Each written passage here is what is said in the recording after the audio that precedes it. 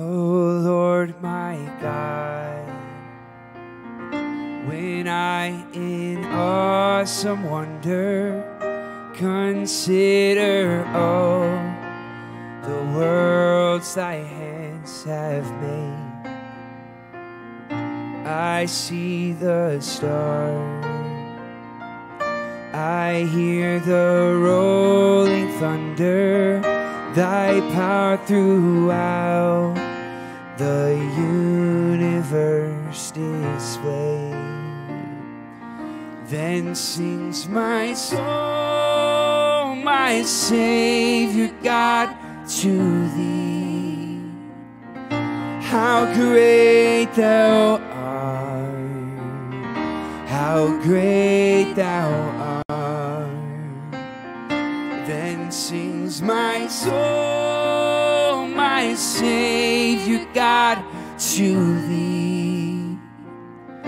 How great thou art, how great thou art.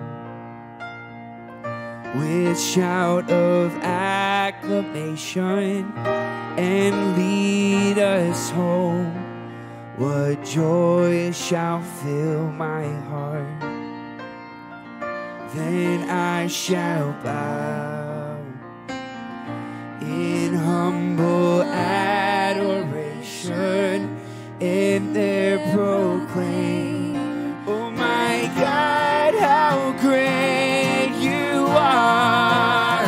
Then sings my soul, my Savior God, to thee. How great thou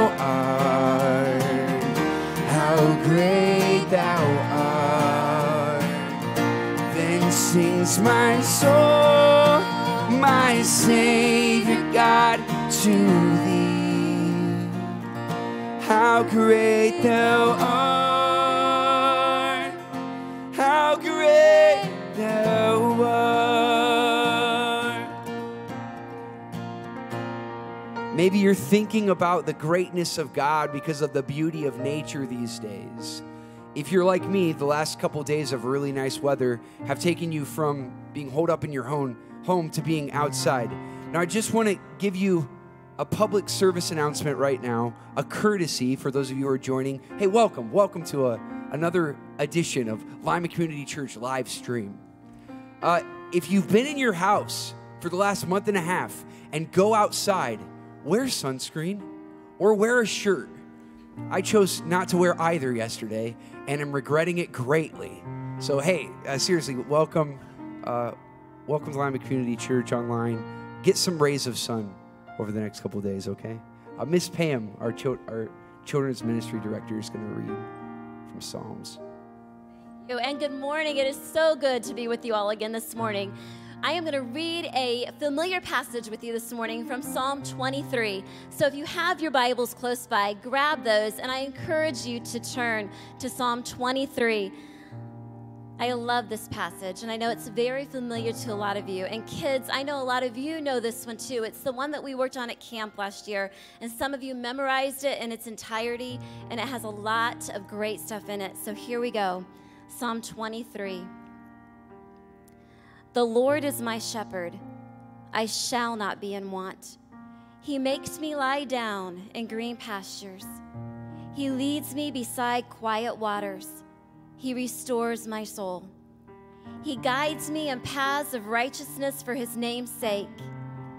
Even though I walk through the valley of the shadow of death, I will fear no evil, for you are with me. Your rod and your staff, they comfort me. You prepare a table before me in the presence of my enemies. You anoint my head with oil, and my cup overflows. Surely goodness and love will follow me all the days of my life, and I will dwell in the house of the Lord forever.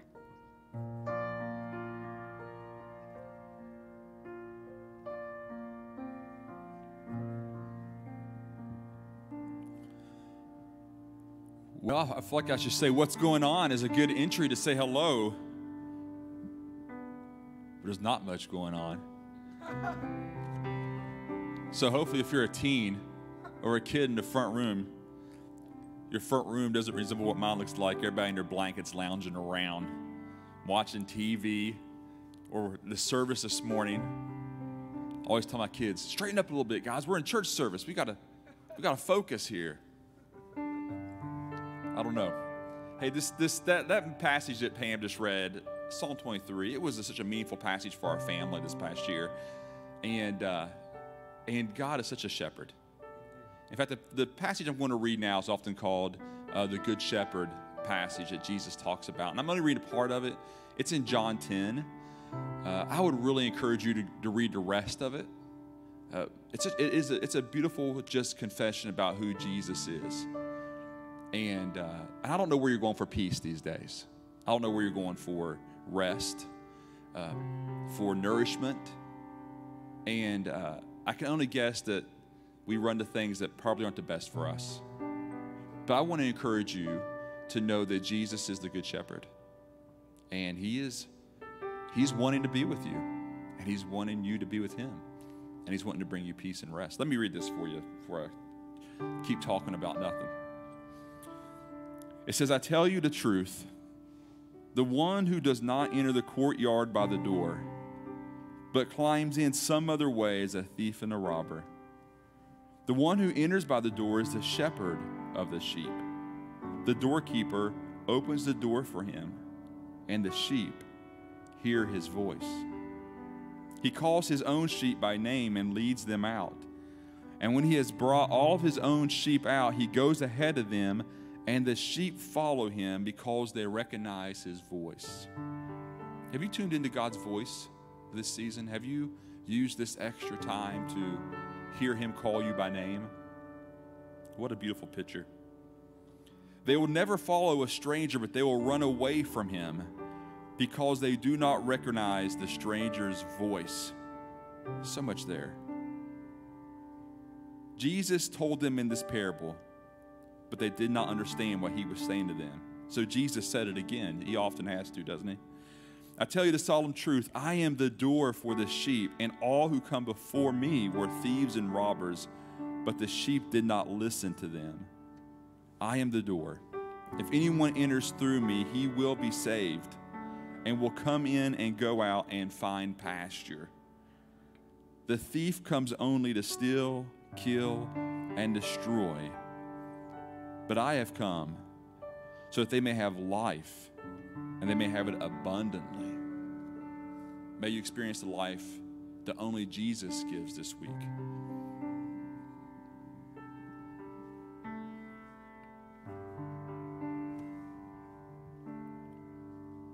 You give life, you are love, you bring light to the darkness. You give hope, you restore every heart that is broken.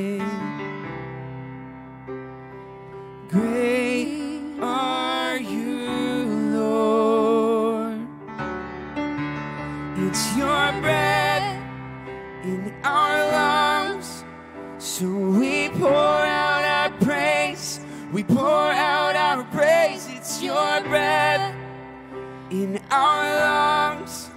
So we pour out our praise to you only.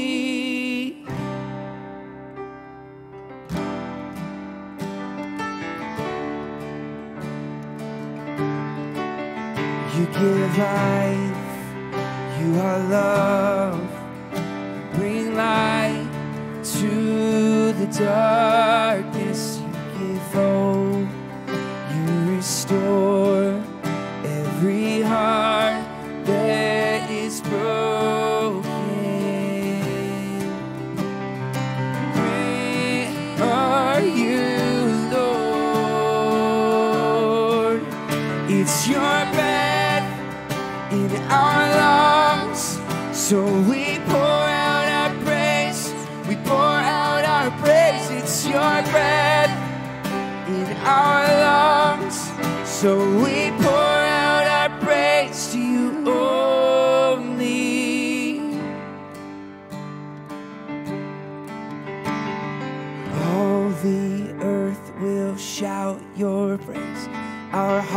will cry.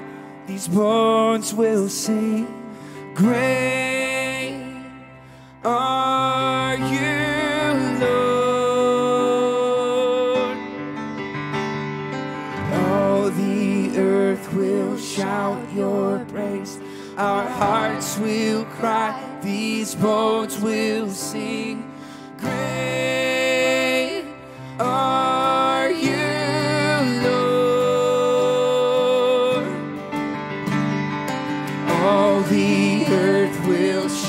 your praise. Our hearts will cry. These bones will sing. Great are you, Lord. It's your breath in our lungs. So we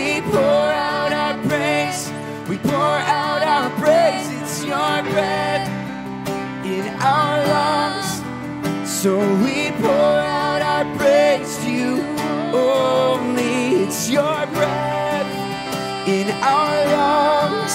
So we pour out our praise. We pour out our praise. It's your breath in our lungs. So we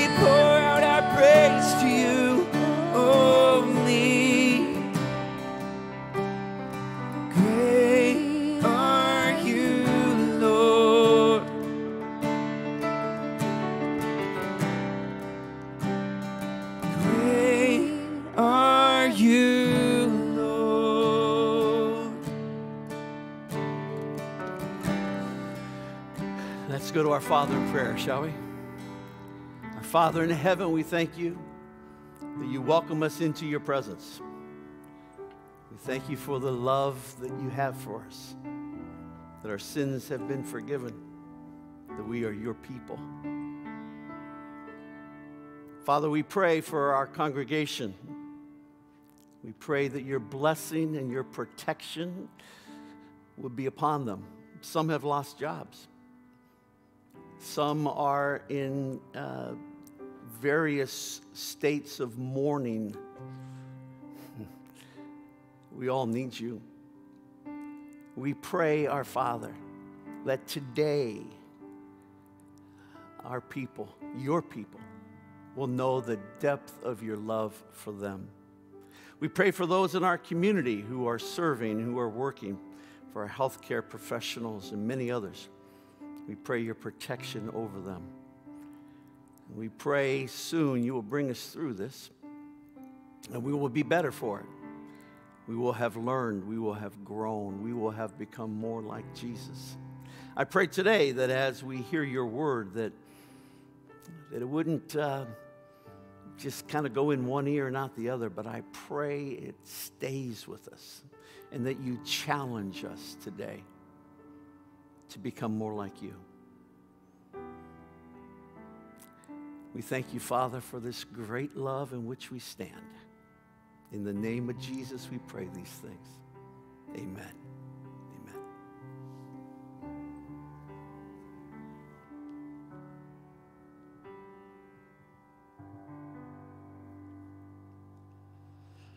Well, good morning, everybody. It's great to uh, welcome you to Lima Community Church from wherever you might be joining us today. You know, it's uh, the the song that we just sang is such a great reminder, and I take such comfort in the reality that that God's greatness and his character are not changed by our circumstances. I'm so thankful for that today. So, we've got a number of things we just want to make you aware of out there today. Uh, first of all, just a reminder that those of you who are part of our Access student ministry who have teens at your house, uh, the Access is continuing to have online meetings every week. Uh, the high schoolers on Mondays and the middle schoolers on Thursdays.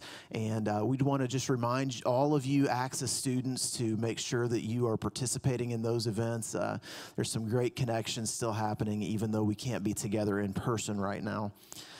A week from today is uh, a very special day. Uh, It's Mother's Day next Sunday, and we would like to do just a little something for all of you moms out there who have kids birth through 12th grade. So, next uh, next Saturday from 9 to 11 in the morning, we're going to have an opportunity for you to uh, drive through and pick up some muffins. Uh, to celebrate Mother's Day with your kids. Now, the, the key thing that we want to tell you about this is you need to access our website, limacommunitychurch.com. And uh, when you visit the website, there is a banner at the top that you'll see that says Muffins with Mom. And uh, you can click on that banner and place your order for your muffins to be picked up next Saturday. And we need those orders by tomorrow at 2 p.m. So I just want to repeat that. Uh, if you would like to participate in the Muffins with Mom, we'd love to be able to bless you moms with kids birth through 12th grade in this way. But we need you to visit limacommunitychurch.com, click on the banner that says Muffins with Mom, and place your order for your muffins uh, so that we can be ready with the, uh, the pickup that we need to be ready for next Saturday. Again, that's Saturday, 9 to 11 a.m., uh, six days from now to celebrate Mother's Day. We also want to just remind you we haven't talked about this for a little while, but we recognize that the coronavirus pandemic is starting to have its effect in practical ways with lost jobs and lost income and many different things like that in some of our families. And if you are, are somebody who's part of our community or our congregation and you have a need during this time, we want to point you to limacommunitychurch.com slash neighbor where you can uh, sign up and let us know what your needs are that we may be able to help you with. And similarly, if you are somebody who is able to help with one of these needs, you can visit the same uh, link, limacc.com slash neighbor. And uh, there's a, a button there where you can sign up to help with these needs. Now, a number of you have already signed up to help. You don't need to sign up again. And if you haven't heard from us yet, it's because we don't have enough needs to meet the people who have, have uh, offered to give help yet. But uh, we recognize that that day may be coming. So uh, if you haven't signed up to help yet and you'd like to, please feel free to do so.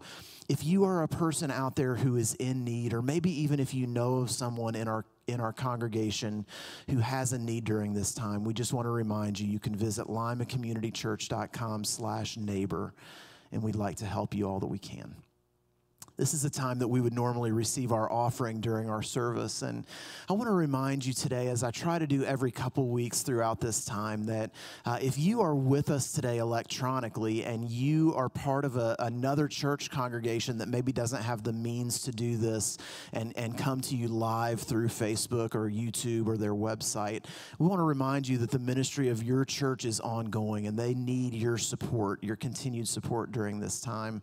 Uh, we believe that our sacrificial giving is an indicator of our uh, spiritual maturity, and it's a, an invitation that God has given to us. And so we just invite you, uh, whatever church you are a part of, whether it's here at Lima Community or if it's another church, to continue supporting the church with tithes and offerings during these challenging days so that we can continue the important work that God has invited us to do. Thank you so much for all that you're doing. Would you bow your heads and pray with me now? God, we thank you so much today for your blessings and your goodness to us. We thank you for your constant faithfulness and your goodness in spite of things that, that around us may not seem so good.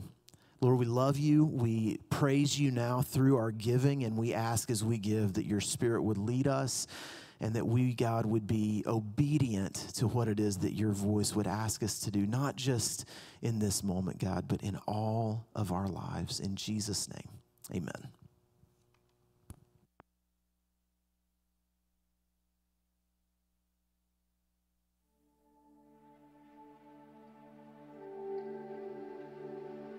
We spend a lot of time reflecting on the darkness of Good Friday and Jesus' death on the cross. Yet the hope Jesus gives does not end with the cross. The cross is just the beginning. Through his resurrection, Christ initiated the rebirth of all creation. In the days following the resurrection of Jesus, everything changed for his followers. Their hearts were stirred with new hope. It was as if the new life of Jesus had also given new life to them. God had fulfilled his promise to his people. Though they had been long in the desert, they now experienced the abundant life of their risen King. We too have the hope of resurrection. Christ has not left us to ourselves, but has given us the Holy Spirit to guide and direct us, to sustain us until Christ's coming. From death, from decay, from the desert, we have been called to life.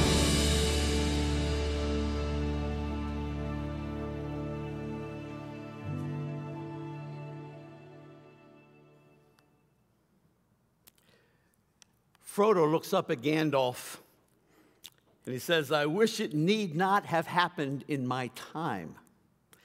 Gandalf, the wise wizard, looks at Frodo with equal parts wisdom and compassion, and he says, So do I. and so do all the people who live in such times. But that is not for us to decide. All we have to do is decide what to do with the time given us. We have to decide what to do with the time given to us. As I've uh, prayed and, and thought and uh, done a lot of research, one of the things I, I go back to is uh, the great 1918 uh, Spanish flu uh, that killed so many Americans.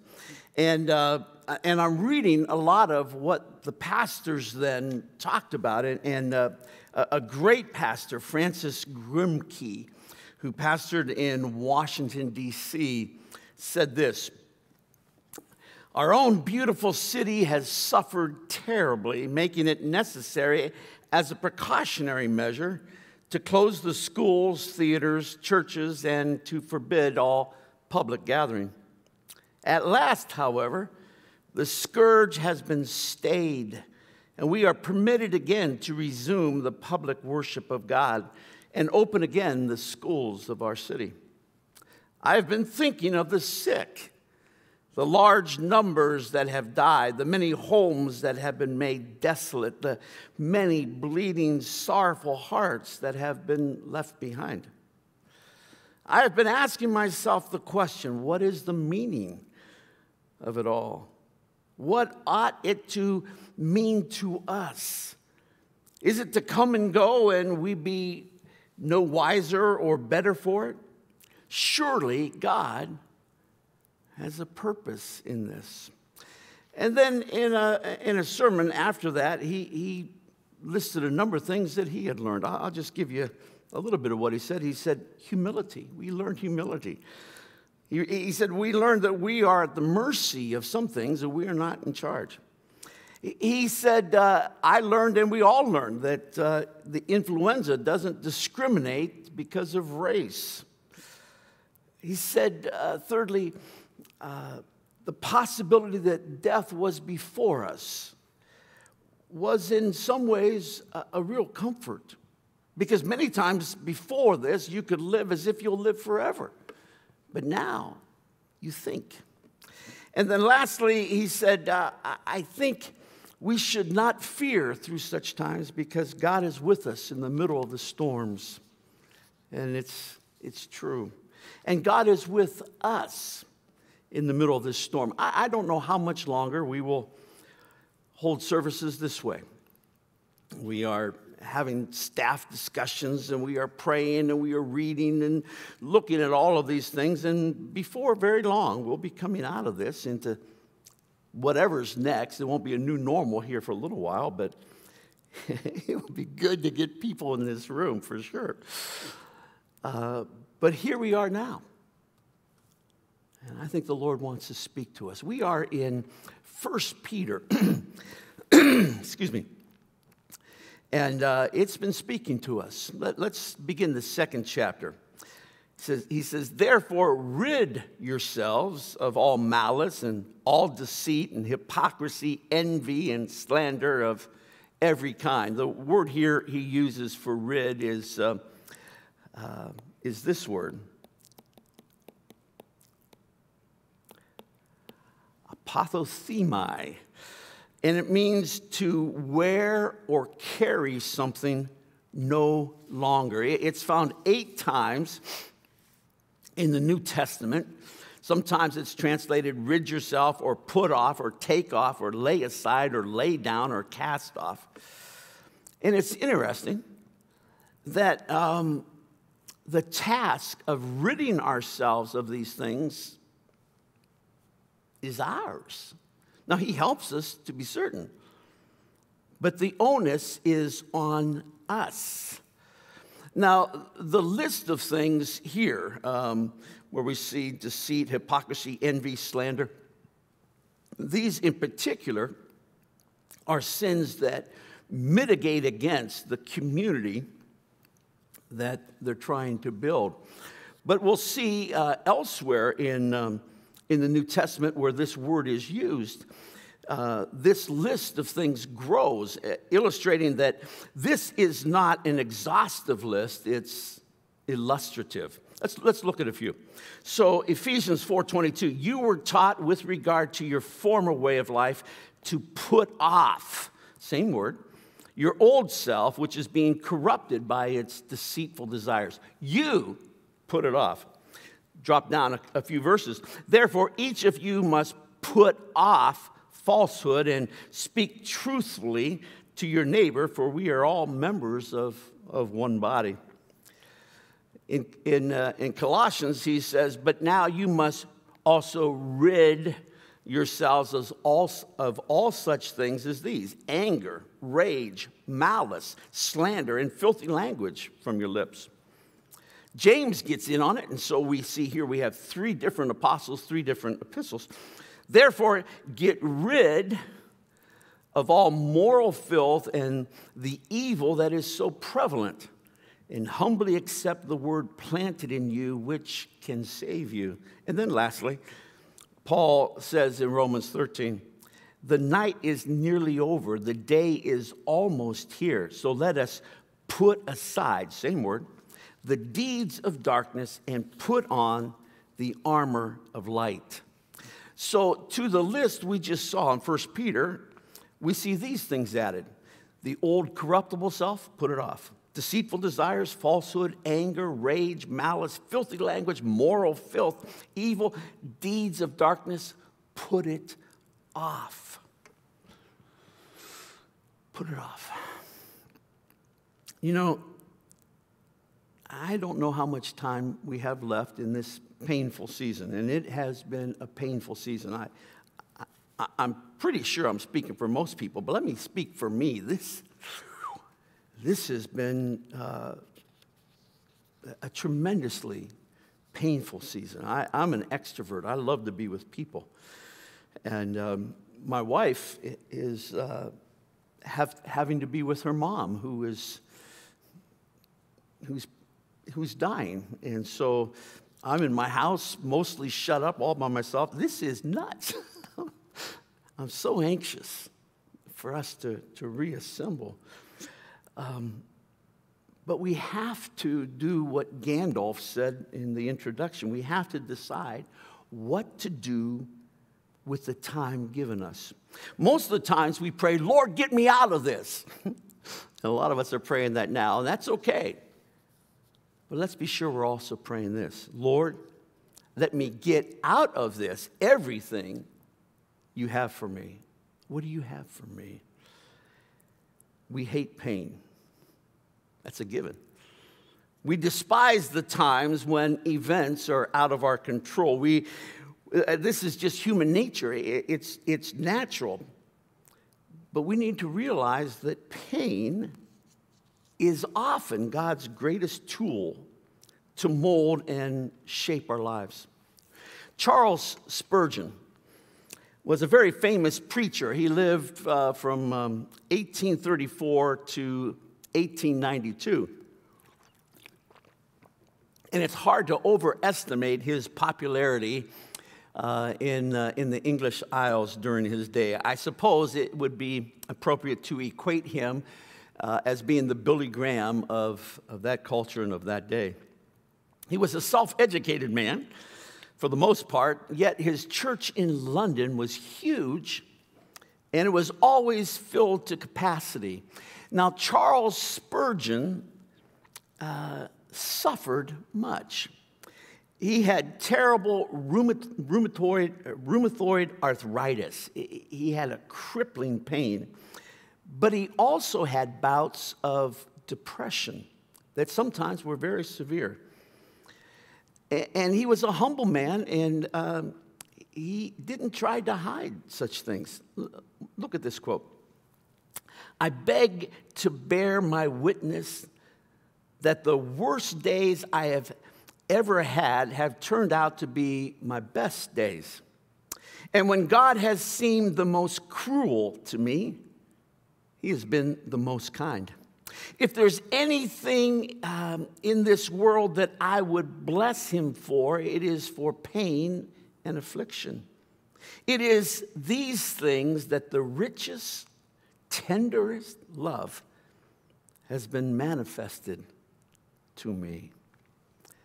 That's a pretty strong statement, but I bet if you look back over your life, now that you are out of whatever pain that you were in in some previous chapter, you'll say the same.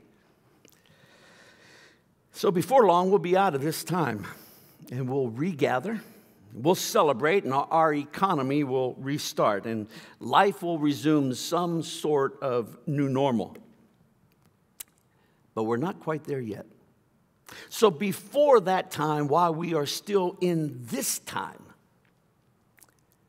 we have perhaps the greatest time of our lives to do some deep work on our souls, getting rid of the sin and evil uh, and that long list of things we read earlier takes work.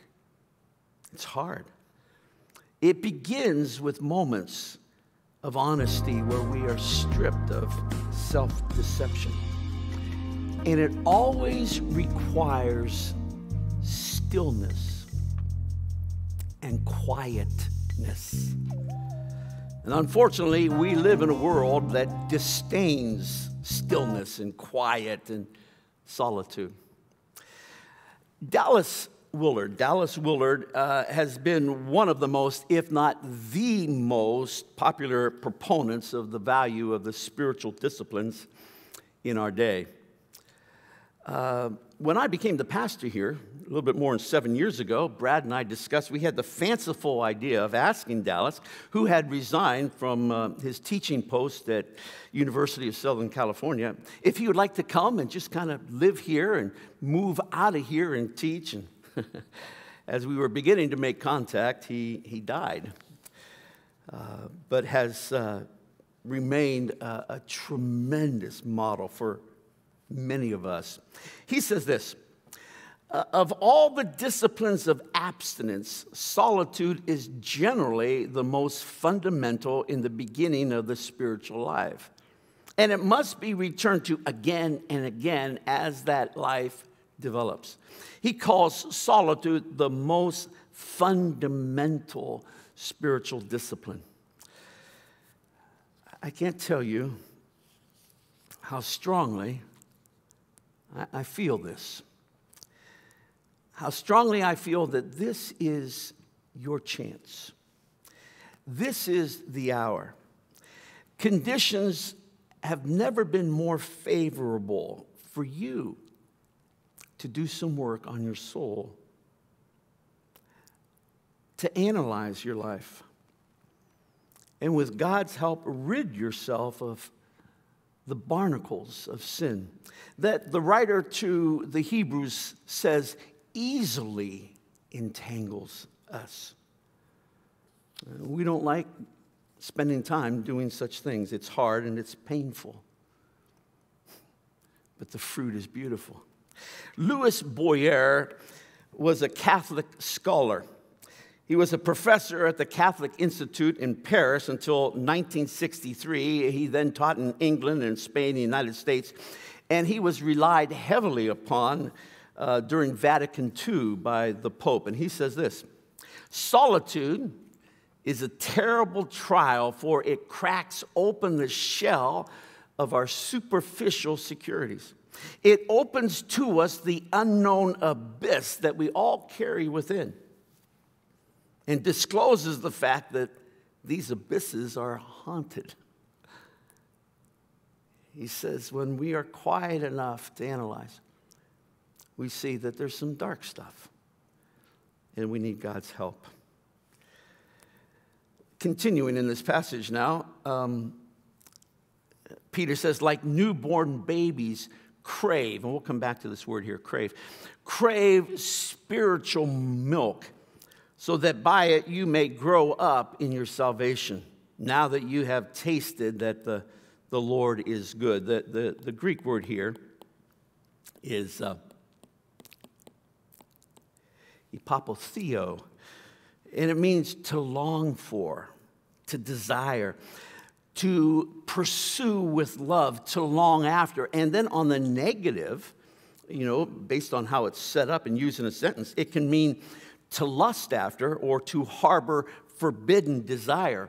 Um, uh, Paul uses this uh, when he says to the Philippian church, God can testify how I long, that's the word, how I long for all of you with the affection of Jesus Christ. He says, crave it, long after it. As you come to him, the living stone, rejected by humans, but chosen by God and precious to Him. You also, like living stones, are being built into a spiritual house to be a holy priesthood, offering spiritual sacrifices acceptable to God through Jesus Christ. But you, uh, let me see if I'm ahead of myself here.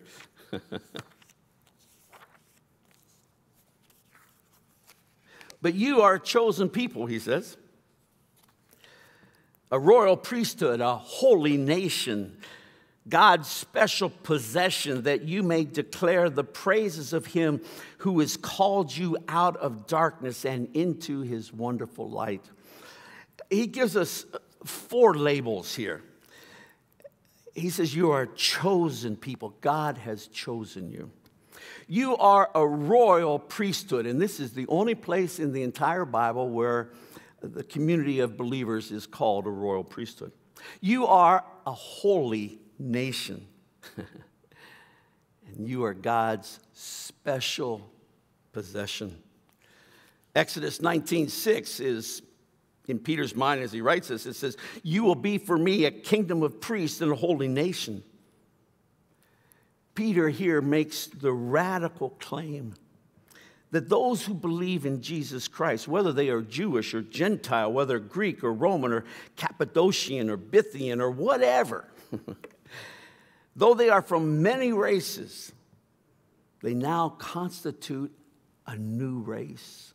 They are a new people, a race of those who have been born again into the living hope through the resurrection of Jesus Christ.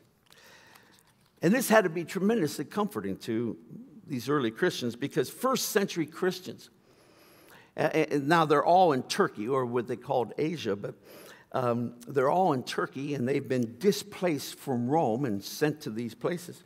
First century Christians were often persecuted, and later than what we are reading here, just in a few decades, they began to become executed because not only because they worshiped Jesus, but because they only worshiped Jesus. The Roman society was a polytheistic society. They had more gods than you could count. So Christians having a God, well, what's one more God when you have so many? But that wasn't the issue. The issue was Christians says, our God is the only God. And because the prosperity of the empire was believed to be dependent upon religious forces, the Christians' exclusive alliance to Jesus Christ was naturally viewed as a test to the rest of society, and the rest of society rejected them. And so, from that perspective, Christians were bad citizens of the empire. And this made them subject to being um, treated prejudicially and, in instances, persecuted. He says to them, Once you were not a people, but now you are the people of God. Once you had not received mercy, but now you have received mercy. Dear friends, I urge you as foreigners and exiles to abstain from sinful desires which wage war against your soul.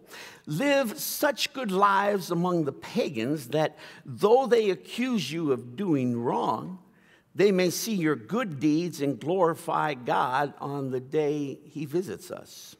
Submit yourself for the sake, for the Lord's sake, to every human authority, whether to the emperor as the supreme authority or to governors who are sent by him to punish those who do wrong and to commend those who do right. For it is God's will that by doing good you should silence the ignorant talk of foolish people. Live as free people, but do not use your freedom as a cover up for evil. Live as God's slave. Show proper respect to everyone, love the family of believers, fear God, honor the emperor.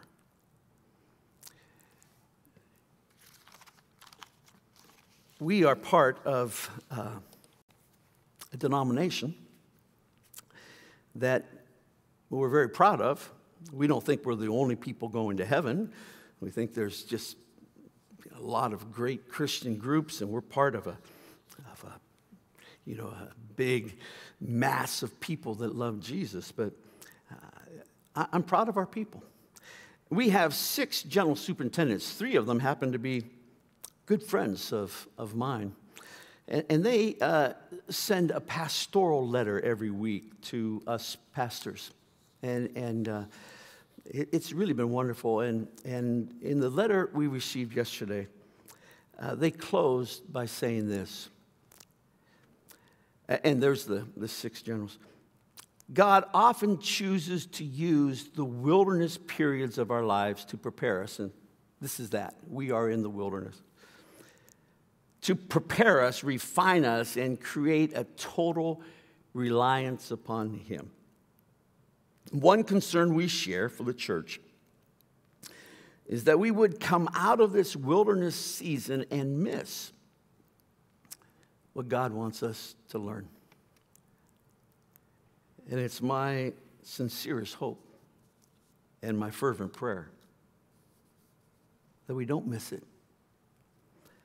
that we allow the Lord to do some things in these days. That all of our busyness and all of our frantic running here to run there, to do this, to get this done, has kept us from doing. That we would make use of the time we have been given, as Gandalf has said. I challenge you this week.